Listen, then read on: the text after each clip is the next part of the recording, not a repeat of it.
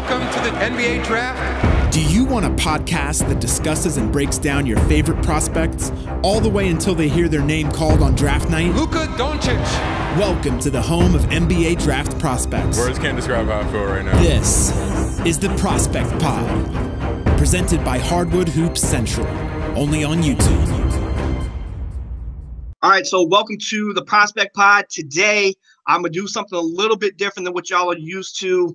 Uh, today, I'm gonna do an interview with Mr. Josiah Johnson. I say Mr., but listen, Josiah is probably one of the best, most humorous follows on NBA Twitter and just in general.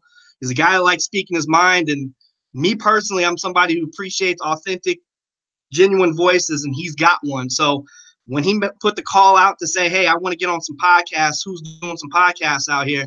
I had to jump in and was like, "Hey, man, whenever you want to come on, come do it."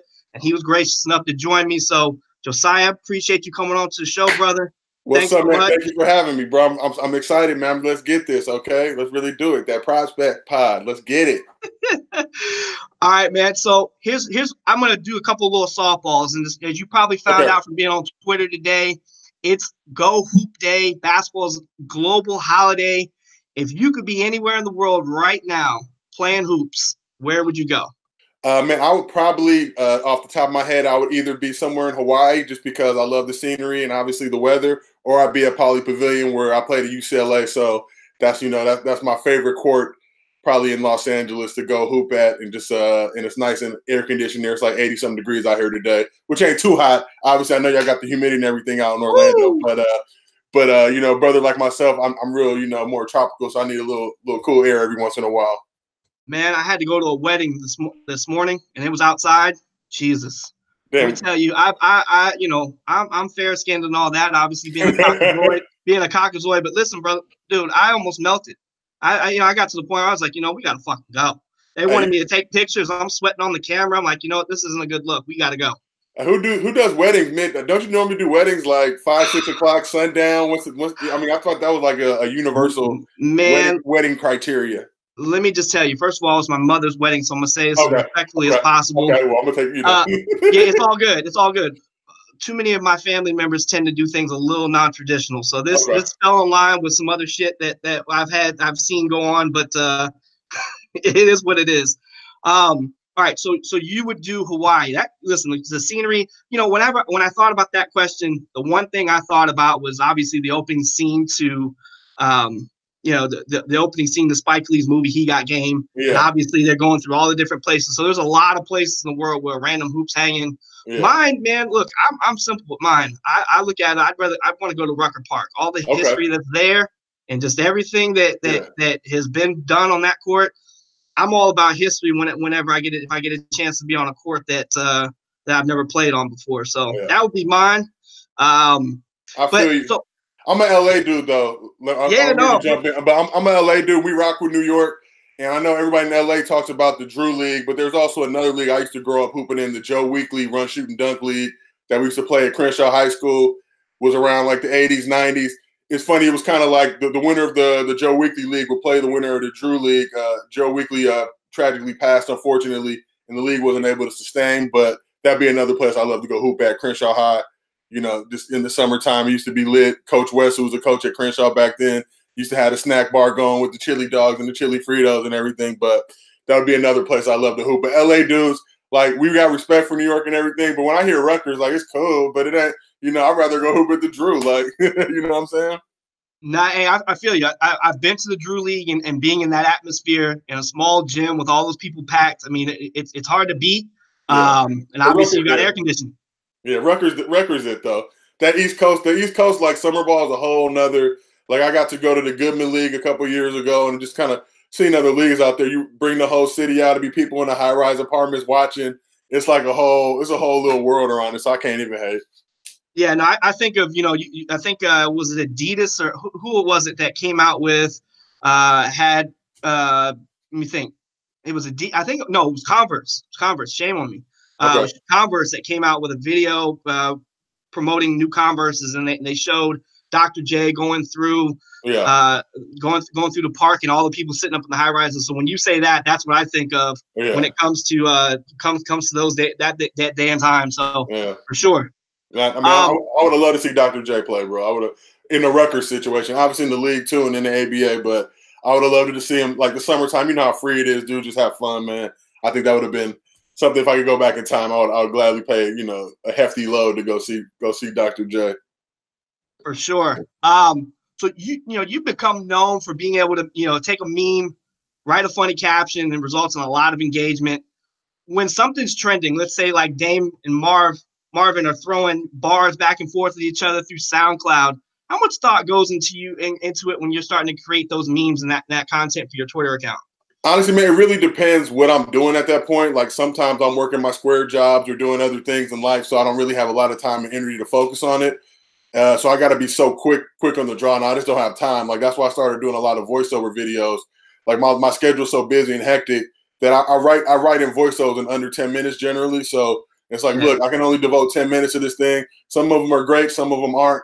But I think at the end of the day, whether they hit or not, it's like I only put 10 minutes into it. But something like Dame or Marv, like I'll see some initially, and I'm generally, I try to be on top of everything, but I get so much stuff thrown at me that I got to take a step back. So I didn't see that for a couple hours. But as soon as I saw it, I thought I started thinking about House Party. And in my mind, it'll just start turning into pop culture, like that rap battle from House Party.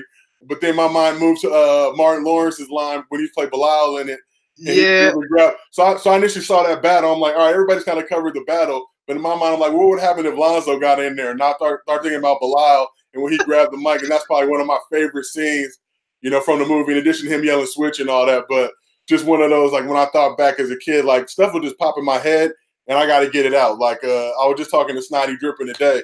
And I'm literally like, you know, I, I put an out of pocket tweet up probably like 15, 20 minutes ago. And he's Carmelo. like, yeah, and it's like if it pops in my head, I just got to shoot it. Now a day before, because literally a day before, I love Melo and I want to see him win the Lakers. I want to see him win a ring. So a day before, I tweeted about that, and then I saw this thing this morning. I was like, I got to put this up. Like, like this, this is hilarious, you know. And when my mind just starts churning, it always just lands on what's the best caption I can come up with. Like if it's clowning, I'm a big LeBron fan. If it clowns whoever, I'm gonna have to clown LeBron sometimes. But I only do that because I know once LeBron wins again, like, you know, it's to be a lot of people are to block me and I want to hear me because I'm to be going super hard. But in the meantime, in between time, like, y'all, I'm an equal opportunity clowner. So if some, some pops in my head and I got to clown it, I just got to do it. I shoot it. I get a lot of, I get a lot of like, you're out of pocket responses all the time. Right. And, like, and I, I mean, I am like, look, I just, I just have a good time and crack up. But I'm more from the mentality of like I love and respect all those dudes in the league. Right. But it's right. like that, it's that, that locker room mentality. When you're in the locker room with your guys, like, you know, when I played at UCLA, we had like uh, 10, 15 pros that I played with, but they were all equal in the locker room. We are just clowning. So anybody anybody would get clowned on anything, and it's no hard feelings, nothing personal. Like people clown me all the time. It's like you just, you know, I just take it and laugh about it. I don't try and take it too serious, but you got to fire, shoot or shoot. That's what they say. Right. Now I've seen you have to tell people like, look, these are just jokes. And yeah. part when I was thinking about the title for this podcast, I was like, man, it, I'm gonna call it. It's just jokes. Because at yeah. the end of the day, like I see how you move, and it's like I understand it's for purposes of, of creating content and engagement and all that, but at the yeah. same point in time, it's like like you alluded to, when you're a part of that culture, when you're a part of that locker room culture, and you just understand how it kind of goes. Yeah, you're not really trying to be personal. It's just more like I got to get the I got to get this off. It came yeah. in my mind. I got to get this off. So every time every time I see you do it, I never think it's out of pocket. I always just think it's just it's part of the culture. I mean, look, um, I, I try to be out of pocket just to be real, just because like what I've learned about comedy and everything is like you want to stand out, whether you're hooping or doing whatever. You want to do things, and this, this is just my nature. Like I've grown up in environments. I went to Crenshaw High School. I went to a school called Montclair Prep in the Valley, so I've seen both yep. worlds.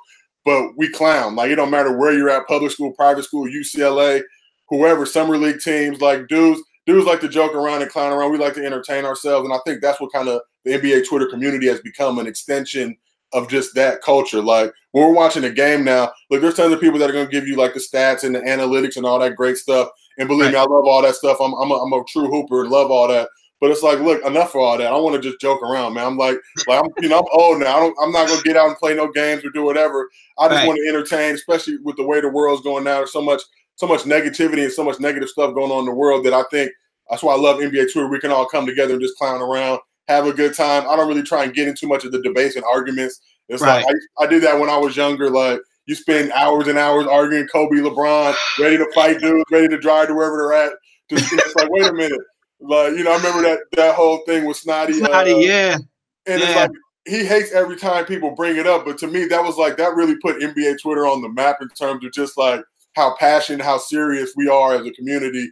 But I think right. it also opened a lot of people's eyes, like, yo, just chill out. Like it's just jokes, like whatever it is, like you, you like the Bulls and I like the Lakers or I like the whoever, like it don't matter. Like, man, let's all just enjoy these things and have a good time. Right, and for the people and for the people who will ride or die for these teams, unless they're actually cutting a check with your name on it. Yeah. First of all, if they are, you're not on Twitter like that arguing.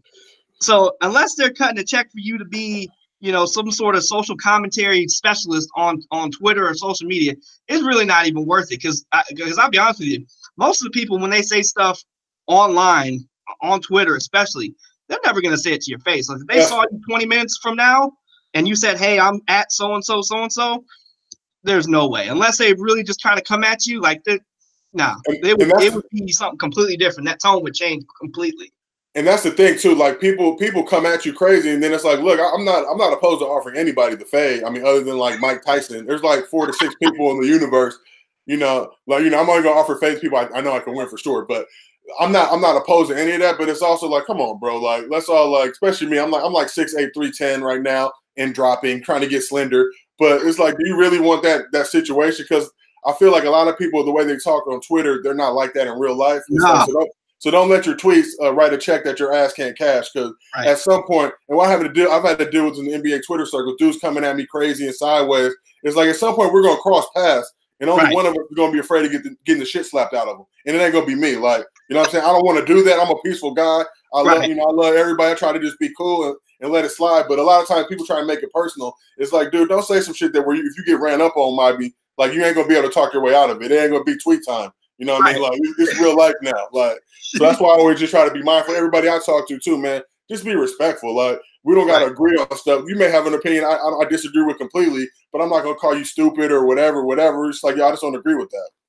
Yeah, and I mean, at the end of the day, like you said, it is just an opinion. Even if yours is completely based, you know, in fact, at some point, an opinion, even based in fact, can become untrue. And, and look, I, I, the way I look at it is like this: if, if if you're on social media to take life so serious, there's a lot of people on social media they're not built for it. They're just yeah, not.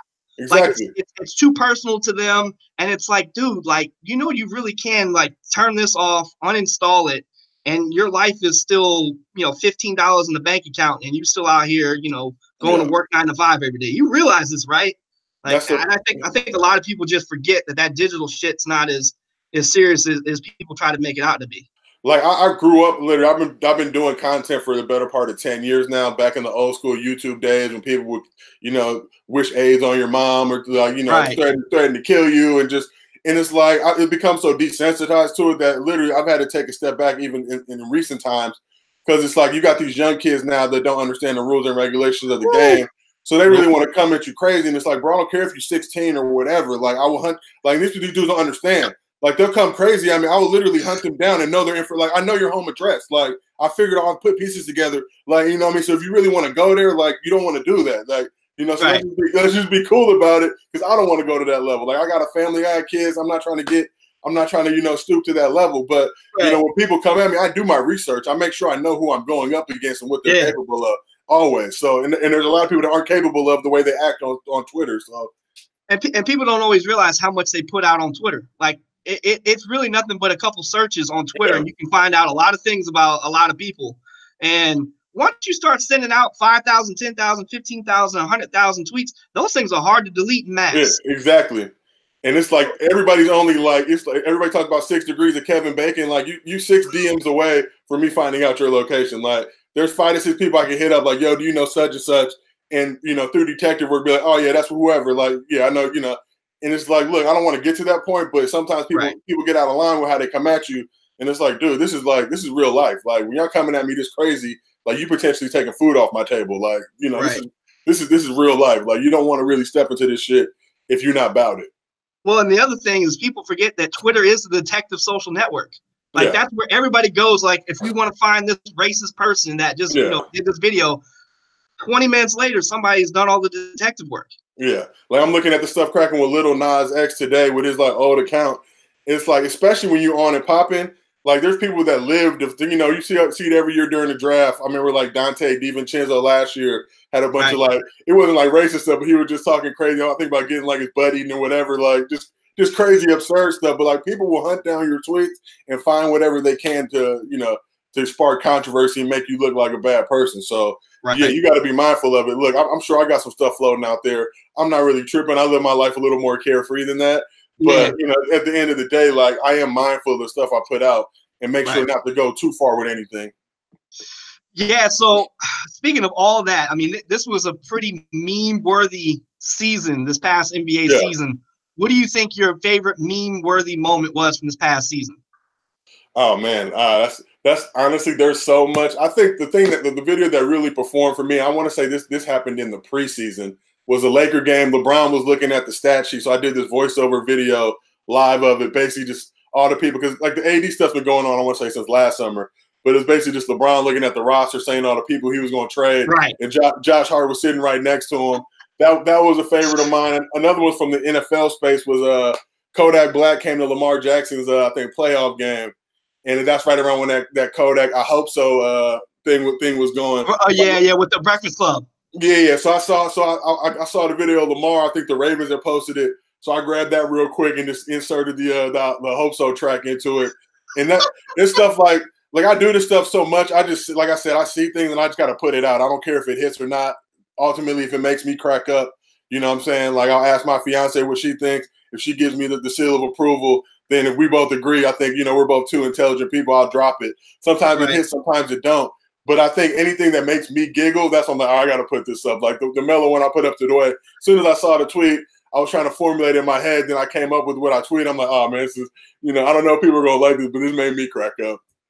Yeah, the uh, the the Carmelo tweet. They, I mean, they straight started taking those jeans off that girl and starting smacking the absolute dog shit out of her. And I'm like, man, that caption just worked so so well. I saw that just just before uh just before we got on here, and I was like, man. Yeah. I, you know, it, it's funny because, like, you know, like I said, it's just that quick wittedness to try to see something and be able to just do it right away. Exactly. And, and you you figured out a way to do it in a way where you know it combines a lot of the ways in which you've grown up and which you've gone, you know, what you've gone through culturally, but then also at the same time, it's it's a it's a it's a melting pot. So your voice can be very authentic because at the end of the day, like you know what you're doing the content you're providing is really stuff that you would you would more than likely be putting out there amongst your friends and amongst other people anyway. It's just it's giving you you've just got, got a digital footprint to where more people can find out you know how funny and and how quick-witted you are.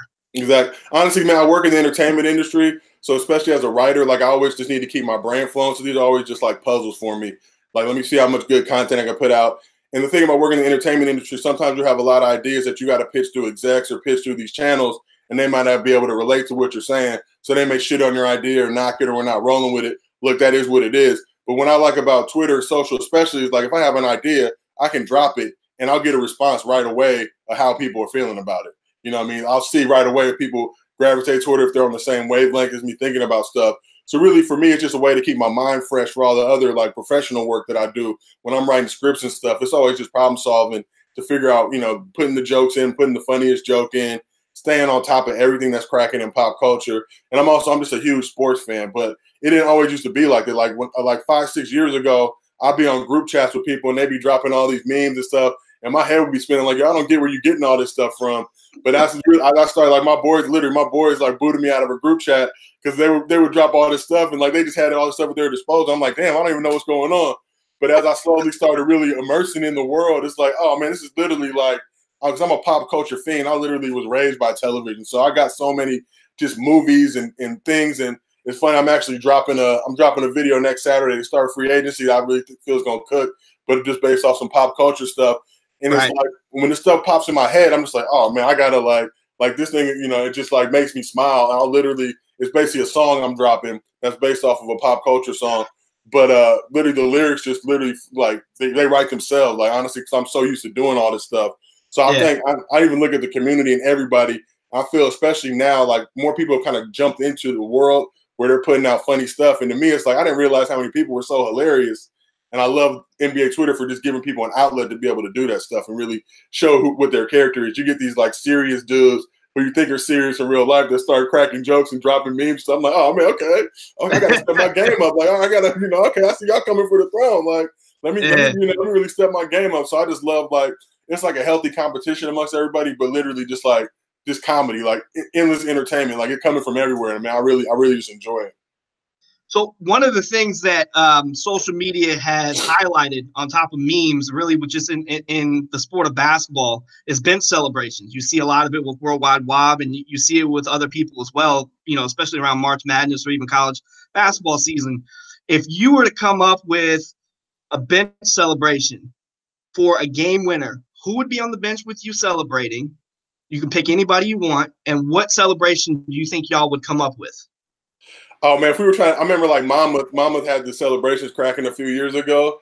I'd say we'd have to do some real elaborate stuff. I'm trying to think like, I mean, I love like Dragonfly Jones. I always say like Dragonfly Jones and like LeJethro Jenkins, that whole crew. Like those dudes really inspire me, uh, along with like Amin and Bomani, to, to really get in this thing.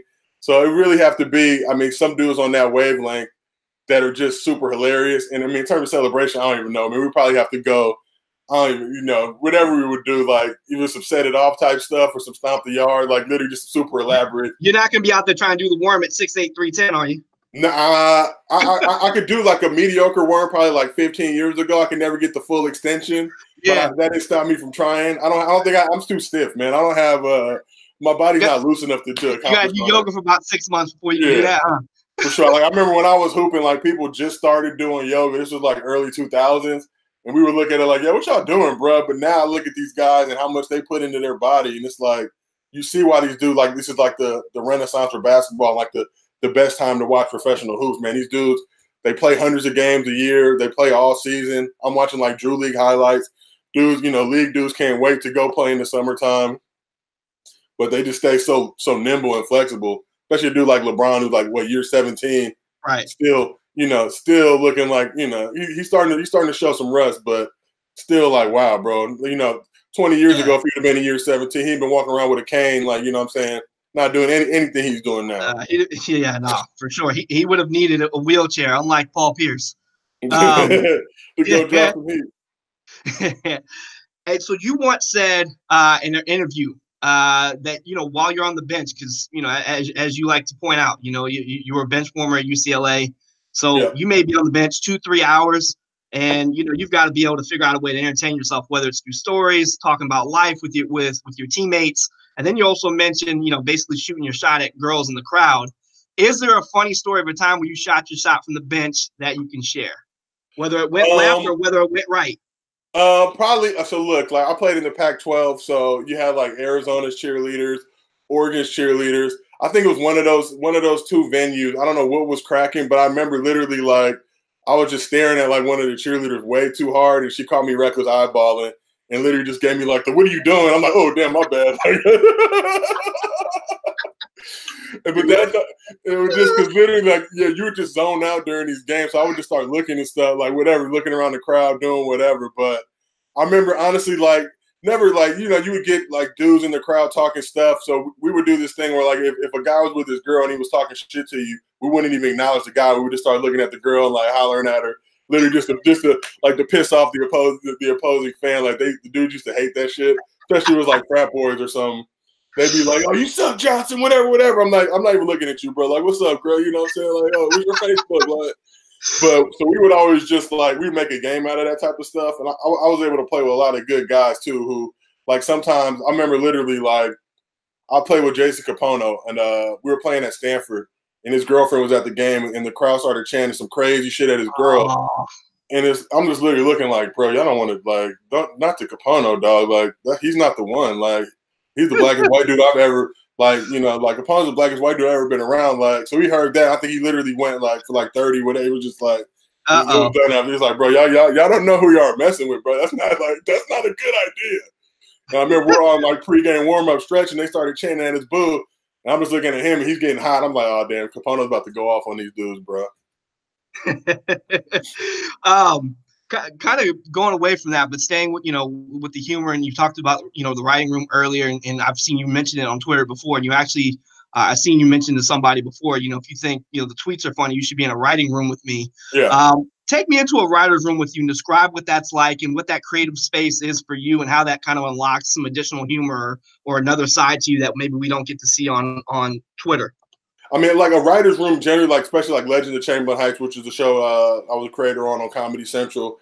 We had so many just intelligent human beings in there, so much elevated conversation. Like like me and my buddy Quinn Hawking, who was also a creator on the show. We played at UCLA together, so we kind of brought that locker room culture. But then we had dudes like Carl Jones, who's literally one of the most talented, incredible human beings. He's got a show called Sugar and Toys now on Fuse TV. Michael Starrbury, who literally has comedy and drama on lock. He he wrote uh the, the finale episode of When They See Us with Ava DuVernay, which okay. he, he, about to win an Emmy. But but you get dudes like you know, dudes like that. We had Devon Shepard, who was our showrunner, who'd been in the game for like 20 years. We had a bunch of talented uh, female comedians like Zainab Johnson, Amanda Seales, and other people through there. Right. It's just like you know, it's it's like a healthy competition. It's kind of like Twitter, like literally who got the best joke, like best right. jokes getting in the script. The thing about writing scripts and, and formulating things is like when you write a script out, you'll have a joke in there. You know, you can go back and try to beat whatever joke you have in the script. Like right. you know, the same thing with like same thing with like a meme drops on Twitter and hundred people are trying to put their best caption on it. Like that's yep. what a writer's room is like nonstop, but literally like healthy. Like somebody may come in like, oh, I got a great idea for this. Like like Carl Carl would come in like, you know, we should try this or try that. Or we had a, I don't know how familiar you are with the show, but we had an episode where yeah, uh, I am. It's called Tupac where Tupac yeah. came back.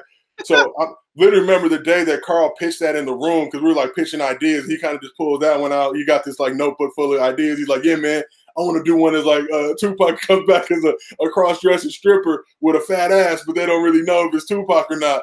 And it literally like the whole room just like lights up like and it's kind of the same thing with Twitter. Like where a tweet may go viral and get thousands of retweets, and that's how you know that it's embraced. Like in a writer's room, you can make the whole room crack up right. on a joke, and you put it in. Like we had, and that's like working on that show was honestly some of the best times of my life because you knew every day coming into work you were going to be cracking up. Like, you know, even if we had like a 12 hour day, it was 12 hours of dudes cracking jokes. So ultimately, like, how hard can that be? That's like the best job on earth. But so that's where, that's where, like, even with the Twitter stuff now, I always look at it like, man, I got to put out as many good, much good content as possible. I'm going up against a million people who are just, you know, are creative, artistic, talented. And it's like the thing about Twitter is like, if it's good content, it's good content. No matter how big your following is, you could have one follower out, put a great tweet out, and that thing can get hundreds of thousands of tweets just because right. people relate and bond with that type of stuff. So I always just for my, myself just try to stay in that conversation as much as possible. And like we were talking about earlier, like if it's something topical, I just try to jump in and really be ready. Like I feel like a lot of people have like stuff ready to go. I'm more like just whatever happens, I react to it, which may, you know it helps and hurts a lot. Like I miss a lot of stuff, but then there's other times yeah. I'll see some like something will pop in my head or I'll remember something I did it's crazy. Like I, have had so much good stuff over the past like two years. I'll forget tweets, and people will like like them or retweet. I'm like, oh damn, I did, I did tweet that. Yeah, right. And it's but it's, you know, so I just try to. I love like whether it's a writer's room or Twitter, just really like I love just the, the the environment of trying to be funny and knowing that no matter what, if it's funny, people are gonna laugh. If it's not, they're gonna call you out on your shit, and you just got to chalk it up, take your L, come back again with something better next time. You know. Yeah. Right. Um. You know, you you you've mentioned the process of of going throughout, you know, writing a script and being in the writer's room. But, you know, there's a lot of people out here, especially where you're at in, in, in LA and just in, in general, who want to get in the entertainment business, who want to, you know, create a show, get it on a network. Talk about kind of that process a little bit because I, you know, I don't know the extent of your experience prior to Legends of Chamberlain Heights, but, you know, talk about the process of being able to come up with the idea for the show and then getting it on the network. And then what have you learned since then that's really helped you in, in projects you're working on now? I mean, one of the things I really, especially like since the passing of Nipsey and, and just watching a lot of his stuff, is like you got to be relentless. Like the entertainment industry doesn't give a shit about you; they'll forget about you quickly. So you got to be on your game, always coming with heat, and be ready for rejection. Like you know, like it's all a numbers game. So the goal with any project is to pitch it to as many people as possible to get more yeses and nos. Like inevitably, in this on this side, you're gonna get tons of nos because you're dealing with literally networks that that hear you know hundreds of pitches every year and pick 15 shows. So you're competing up against every all the top talented writers and creators in Hollywood, all the up and coming people. It's, it's, just like the league. Like like how do you sustain? Like you know, it's like a lot of people now is like don't come in trying to be Steph when you can come in and be like a strong defender or a rebounder, and that's how you're gonna get in the league. Like everybody, every team don't need a LeBron type. Some teams need a Udonis Haslem or you know a Ray Allen or whoever. So really, just kind of figuring out what your lane is and how, how you're able to accomplish that. But I think the main thing is just like don't quit. Like it's gonna be a lot of times. I always tell people like Legends of Chamberlain Heights. That show didn't go go on TV till 2016. We started working on that show in 2009. So that wow. was a a seven, you know what I mean? Everybody sees the end result, like, oh man, right, y'all right. made it. This was overnight. Like, bro, this is like 2009, bro. I was in my 20s, like young, getting right. like, oh, I'm about to have a TV show. Like, oh, look at me. And the show didn't air until I was in my, you know, early 30s. And it's like, by that point, I'm, I become more seasoned as a man, more hardened. And it's like, yo, like, is this ever going to happen? But it's always just staying relentless and keeping, even now that that show's gone, like, I've been, I'm fortunate to work on other projects and do stuff, but it's always just, trying to stay relentless as possible and not giving up. Because like I always tell people, like if you quit, nobody's gonna care. We all got our own shit to worry about. We all got bills to pay, lives, lives to take care of. You know, kids, families, whatever. So you quit, nobody's gonna stop. Like Hollywood's not gonna stop. Be like, oh damn, Josiah quit. Like you know, let's take you know a week off in remembrance. Like no, like it's still gonna be, you know right. what I mean. Still gonna be shit getting put out. So that's even for me who's created stuff and done stuff. So even for people that are that are aspiring or trying to get in, it's like, look, you're gonna get a lot of no's, like more no's like me telling you you're gonna get a lot of no's, you're gonna think like, oh, okay, what's a lot of no's? Like you're gonna find a out a lot of no's. It's gonna be past that that point of no's right. that you were expecting was a lot. Like, oh damn, it's more than this. Like, yeah, motherfucker, it's it's even more. You're gonna get a lot of those no's, but all it takes is that one yes. Like we pitched we pitched legends to like four or five different networks. Comedy Central's the only one who said yes. We went one for five. Like you shoot that in the game, like you ain't gonna last long in the league, right? Nah. You, sh- you shoot that in the entertainment industry, bro. You you you're literally Jordan or, or Kareem or LeBron. Like you right. know, going, going one for five in entertainment is like, oh, okay, like you can make a, a, great living for yourself. So it's really just not being, not being. It's you know, people come to, to Hollywood, especially they think like, oh man, I'm just gonna write this script. I wrote a script. It's like, who gives a fuck? Like I wrote a script. People tell me I don't give a fuck. You know what I mean? It's like who gives a fuck? Like now go sell your script, go be passionate about it, and it's like the squeaky wheel gets the oil. So literally, you got to be out there promoting, selling yourself, grinding, doing a lot of shit that may not feel comfortable, bothering the shit out of a lot of people. But like I say, like if you bother somebody with a hot product, you're not bothering them. You're doing them a favor. That's how I always look at whatever I'm doing. Like if I come to you some of the heat, whether you want it or not, like I just did you a favor and presented you an opportunity. So you really just got to have a strong belief in yourself and also willingness and determination to constantly just go out there and get it.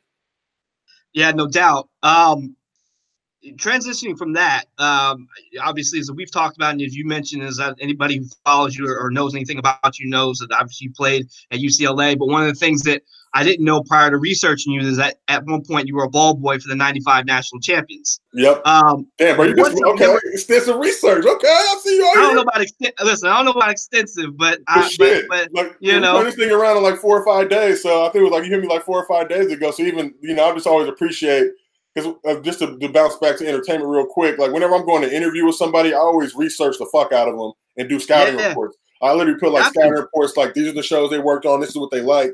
But just to, so when, when people do that for me or ask me questions, I'm always like, yeah, okay, bro, like let's get it. So yeah, no. but back to back um, to yeah, William, what was the question? I'm, I'm cutting no, you you're good. I appreciate that, by the way. Um, but what's a moment from that team. It could it doesn't have to be obviously you know the national championship win or anything in the in the tournament. What's a moment you were present for that when I when I mentioned that being a ball boy for the '95 national champions that that automatically pops into your mind? So first of all, my older brother Chris was a freshman on that squad, and he he gained. He was literally like I want to say like the seventh man. They went with the six man rotation. He ended up like hurting his foot, but he he was like killing early in the season. But he gained notoriety for like doing this thing with towels. Like he would do all these different basically like rally caps with towels on the bench. So that, that, that was one vivid memory of mine because literally even like you know I was sitting like I'm probably like 15 feet away from him and no, as a hooper like you hate to not be able to be out there contributing as much as you want, right.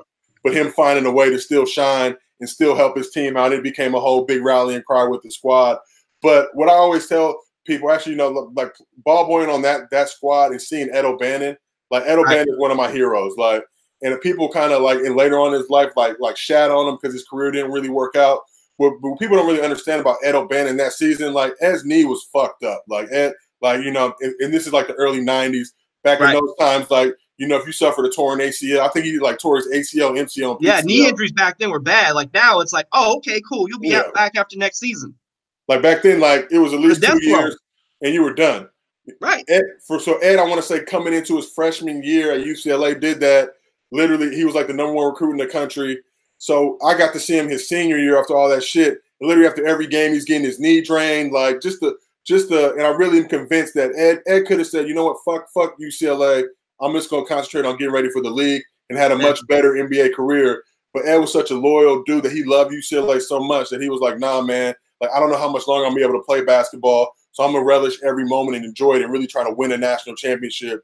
And just to see him as a leader in a way, you know, like this dude would be crying in the locker room at halftime, yelling at dudes, getting in people's asses, like, but also like if, if a random chance he was on a bench and like we were going to cleaning some shit during the game, he'd be like rooting us on, encouraging us. Like he was just like if you had if you were part of UCLA, you were family. So seeing Ed that entire season and just what he was able to accomplish, uh, winning a national championship, winning Player of the Year, it's like for me, like I will never forget that. Just like being around him, I remember literally one time, random game, like he drove to the cup, got fouled, ended up like falling on the ground, but it was like a bad fall. But his like foot ended up landing like right on my head. Oh. But but he was like he didn't move, but he was like on the ground, but didn't move for a second. I'm not moving. Like oh shit, we're all like yeah. finally like lifts up and gets up. We're like oh damn. But I remember having like Ed O'Bannon's big ass foot just like sitting on my head as a ball. But I'm like, oh man, this is like this is legendary. like this is one of the greatest experiences of my life. But I was also at the Natty game and actually uh, stayed in the room with my brother after they won. There was literally like 15 people in there. These yeah. dudes were going. I was probably what this is now. I was probably 13. These dudes were going hard all night. But for me, it was just like, man, I knew at that very moment, like, man, I want to go to UCLA, bro. Like this, you know, I know I grew up there, and obviously my dad played there too. So right. But just being being around that experience and seeing what a like a national championship team with the caliber of player you had to have, because there was no even the worst dude on that bench would give you buckets. Like you know, even the worst dude on that bench was was going hard and doing whatever. And just to see that squad and the way they came together and being at the Final Four when Tyus went down, and they're really thinking like, yo, there's no way UCLA can beat Arkansas. They had you know the, the, the press and all that other shit, and to see them bust Corliss Williamson and Scotty Thurman and that crew yeah. Dicky Dillard, like you know, I'm still remember that's one of my favorite teams. Nolan Richardson coaching to see without Tyus, yeah, exactly. 40 minutes of hell without Tyus, Cameron Dollar stepping up, and right. dropping like 31 to 17, whatever he did. Toby, I think went like 26 and six. Like right. just to be around that crew and have a brother on there and be like, I'm still like the way that I look at those dudes, like those dudes are my heroes. So even right. still, but those honestly, those moments I'll never forget. Like I'll carry with me everywhere. Like it's like still think back now to this day. It's the last team to win a natty in UCLA history, and I got to be a part of it in some small way. So you obviously you mentioned your dad um, in, in, in your previous answer, and now for those who don't know, uh, your dad played a role in White Men Can't Jump. My, yeah. listen, there's a lot of basketball movies that exist. If there's yeah. one basketball movie for me that can't that, that if all of them were removed, that I have to make sure stays in existence. Only one is White Men Can't Jump. Woody Harrelson catching the alley oop at the end as a white guy who couldn't jump. It, just, it just, you know, it, it, it, it, it sits with me. Um, so obviously, you know, for those who don't know, your dad played Raymond in that movie.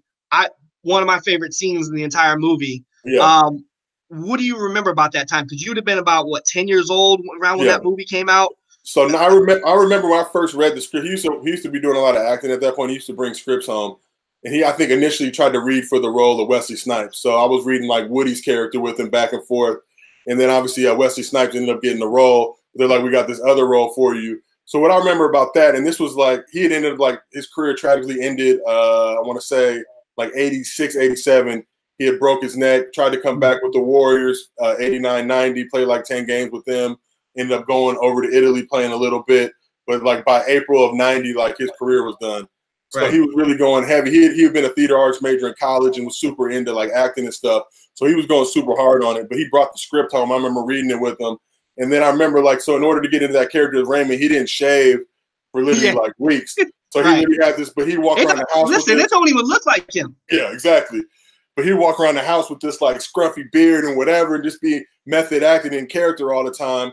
So I remember like going on set, seeing all that stuff, like hanging with Woody and Wesley, and then being at the premiere and because I, you know, you, you know, I, I, didn't know, you know, I'd be on the set, but I know what was going on. Being at the right. premiere, seeing his scene for the first time, and just how the whole theater erupted when he did like the no, right. no, this ain't Raymond. Yeah, but, which I, which literally I don't think was even in the script. He kind of just ad libbed that, and they loved Rochelle wow. so much.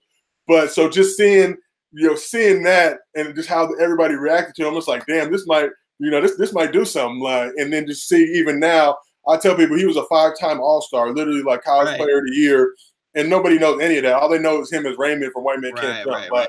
But but it's like, look, you know, he relishes that, but it's just like the younger generation, the kids. He would go speak at camps, and it's like, you know, they're giving him. I'm gonna get my other gun line, but literally don't know that he, you know, he was a five time All Star. So right, it was an actual hooper. Exactly. So, but just to see the way that movie, and the funny thing about that movie, it's literally a rom com. It's not even. It's a quote unquote basketball movie. Yeah, basically, right. It's literally, but it's a rom. You know, which, which Ron Shelton always did with like Bull Durham and other movies. Like it's a rom com with, with basketball as the spine. So to see how amazing, because that's all we all think of it. Like I'm not even really worried about the uh, the Billy and Gloria stuff. It's all just like you know. Right, I want to go to the hoop scenes. Yeah, exactly. That's how I was too. Like, that's how I was too growing up. Like man, just get back to like just get get me to like Flight and Willie. That's all I want to see. I want to see Flight and Willie throwing it off the backboard. I want to see I want to see Duane Martin throwing it off the backboard. That's all so I wanted I, to see. I used to go like they would do like these. So before the movie started, they would do like these these workouts with the whole crew. Yeah. And like Woody Harrelson wasn't really the best hooper. Like I mean, excuse me, uh, Wesley Woody Harrelson didn't actually hoop. I want to say like a D three, so he had some game. But like Wesley Snipes wasn't really like he he was kind of nasty out there to just even see the way that they put the scenes together, make him look like he was actually a proficient basketball player. It's well, literally you, movie magic. You know what's funny about Wesley? Uh, one of the things I, have heard or read, even when he played, um, I forget his character, uh, Willie Mays Hayes, when he played uh, yeah. what was it, Major League. Major League, yeah they, you know, in order to make him look really fast, they said that they had to slow the camera down, and, you know, put him in slow mo every time to make it look like he was moving really fast. Yeah. So it's kind of funny that you mentioned, you know, everybody likes to think that he's like this this uber athlete because the roles he's played in the actuality, somebody's really just trying to make him look good. Yeah, exactly. I mean, that's where like, you know, but even in White Man Can't Jump, you see the tight scenes where be body doubles doing all the whatever, but yeah. you cut to his face acting like you know, and it's like you get tricked into thinking like, oh man, this dude can hoop. But I just always thought that was hilarious. Like as a kid seeing that, be like, damn, he's kind of he's kind of trash, but whatever. Like he's Wesley Snipes, so it's literally like, oh man, it's one of the greatest actors ever. Sure, no doubt. Um, we've talked a lot about you know your life in entertainment and sport. If you had to go away from that and, and start focusing on other areas, other industries, where do you think you would where do you think you would go and, and what would you do? Honestly, man, I would probably gone into like investment banking or something like that that just really makes a ton of bread. Like, you know what I mean? Like, at the end of the day, like you know, I like Gucci loafers. I like having nice things. So if I couldn't if I couldn't be sport or entertainment using my creativity, it would definitely be something in the square sector, like you know, playing the stock market or doing some something like that, some you know, some boiler room type shit. you uh, you be a Wolf of Wall Street, maybe. You know, not now. I'm, I'm I like to sleep at night, so I don't really like ganging people like that. I would do it. I would be the guy on the other side who's doing it the right way. Yeah, yeah. um, you know, a follow up question to that, you know, we we've seen Jordan Peele transition from comedy into the horror genre successfully. You know, if you were to create a show outside of of of um, comedy, you know, where what do you think the genre would be that you would go towards, and what do you think the premise of that show would be? Ooh, that's a good question. I mean, I have I actually got some stuff that's more more dramatic. Like uh, I'm working with my pops on a show about uh, gentrification. I grew up in this neighborhood called View Park, which is literally one of the uh, most affluent African American neighborhoods in the country. Like Issa Rae is from there. Like a lot of you know talented people. Like Reggie Theus used to live right down the street from us. Like sure. Uncle Reggie. Uh, but just now, like it, it, literally used to be a black stronghold that used to turn over from family to family. And now with the like the, the advent of Silicon Beach and a lot of industries coming over in that area, a lot of kind of white people now have come back to the neighborhood and not necessarily pushing out, but it's right. like you know you're just seeing kind of what the gentrification is right. firsthand. Like literally, like like I grew up like you know right right near Nip, Nipsey's shop on Crenshaw and Slauson. Right. And you know nowadays you'll see like white people walking down Crenshaw and Slauson just like, and it's like well I'm always I'm always taken aback by it. Like damn, like you know back in the days it would literally be a thing. Like if I was with my pops and we saw it, he would like pull over and be like, "Yo, like just let you know, like you might want to go, yeah, you yeah. might want to hit down Crenshaw and really get get you know past the ten and you know whatever you know just to let you know."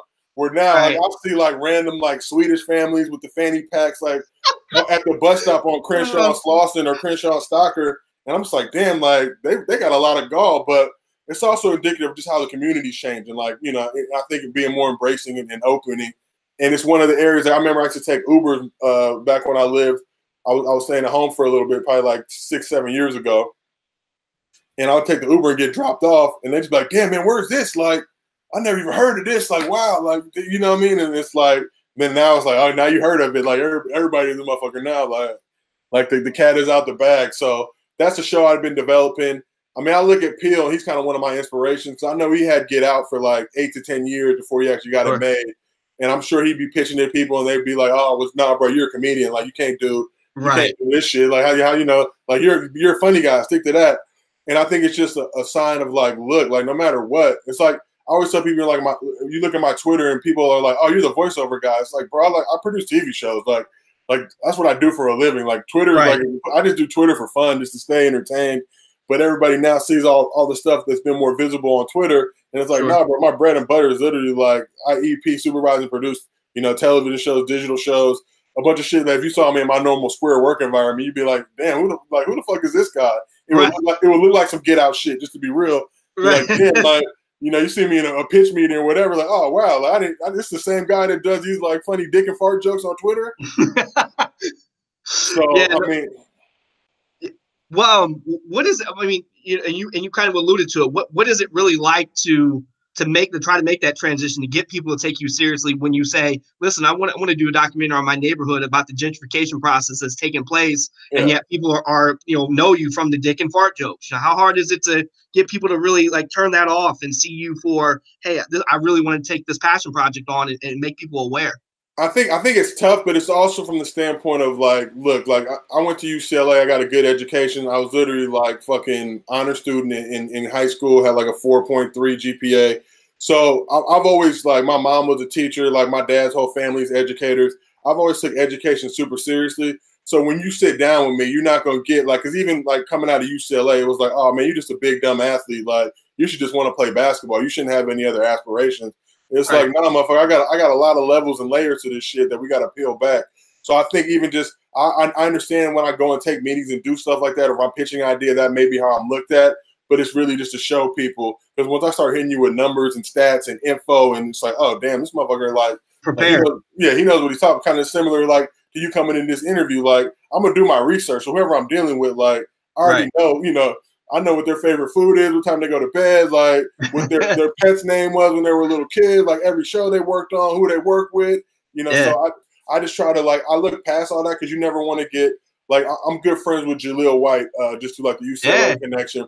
I, listen, Family Matters was my shit when I was Yeah. growing up. And the thing is, he got so typecast into being uh, the Steve Urkel character Steve that right? he's really one of the most brilliant, like one of the best writers I've seen. Just like you know, brilliant director, like just a human being where you would only look at him like, oh damn, you just Steve Urkel, just make the nerd voice. Right. But really, once you get to talk to him and know him, like, damn, this dude is fucking like you know, some whole other like whole other wavelength. And it's literally because he was immersed in that whole world. Like when you're an actor, like whether whatever side of the camera, you got to learn how to do all that other shit. Like as a writer, I got to know how to direct. I got to know how to act so that I can put all these things like being a head coach or being Right. like on on a hoop squad. I need to know if I'm running the play. I need to know what everybody else is doing in the play too. So Right. I don't just need to know my position. I need to know every single position to make this Right. play work effective. So I can tell the three like, no, motherfucker, you're supposed to be here, or tell Right. the point guard like, oh, you're supposed to do that. Like you know, let the point Mhm. guard handle that, but also know like I got to know what he's thinking. Yeah. he wants me to cut or whatever. And that's where like you see like teams like the Warriors or like LeBron's type of squads when people are all bought in like that and know everything that's going on. It's like don't just know Yeah. your position, you got to know everything. So that's what I always just try to try to take with it. And when I'm coming and pitching something, just really, you know, just kind of showcase that and don't get. I mean, it's like you can talk to me for a couple minutes and realize, all right, this ain't this, he's not just some dumb fuck. Like he knows what he's talking about. Right. So look, I you know I can't do this show and this interview with you without asking a few legends questions. And a really good friend of mine, you know, I I, I enjoyed watching Boondocks, you know, when it was out, and Yeah. for a long time I was searching for a replacement to try to figure out. I had a good friend of mine, Russ Wood, who who uh we, we would sit there and we would watch, you know, Boondock, and we'd talk about it. And then when the show went off the air, we're like, we need a replacement. Yeah. And he came to me one day. He's like, "Man, if you watch this show, Legends of Chamberlain Heights," I was like, I was sitting there thinking, honestly, when I heard the name, I'm sitting there thinking, did somebody make a show about the exploits of Wilt Chamberlain? yeah. Like I'm thinking, like like it's gonna be some shit about that. I started watching it, and we'd start talking about it like we did with Boondocks. So I, I reached out to Russ and I was like, man, hey, listen, I'm gonna have Josiah on the show. I said, you know, what question do you want to know? So this question is actually coming from him, okay. and he, wants to know what is the all-time win-loss record for the Duncan Black Holes. This is the thing about Duncan. They used to be a good squad. Like when uh, Grover's brother Montrell was there, like they were a squad.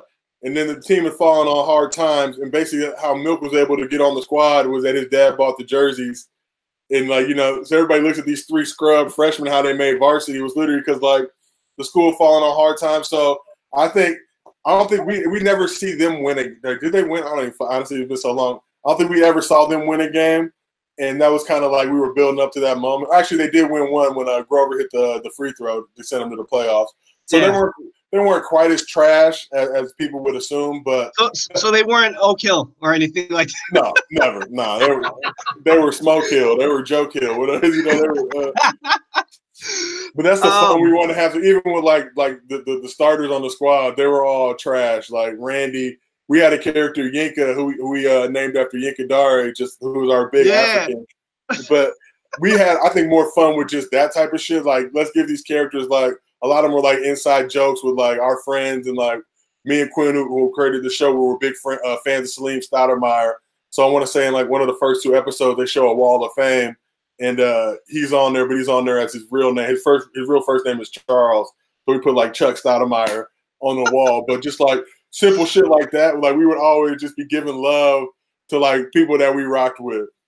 Like we gave O'Bannons love, we gave Tyus Edney love, we gave my brother love. Like right, it was just like you know. So I think even working on the show, like all the inside jokes that we would have, like just because when you're building like an animated show, you have to literally make everything. Like sure. if it's graffiti, graffiti on the walls, what does the graffiti say? If it's it's whatever, what's the name of the store? What's the name of that? So we would do like I remember we had like Michael Cage's Curl Supply. It was like Cage's Cage's Curl Supply store.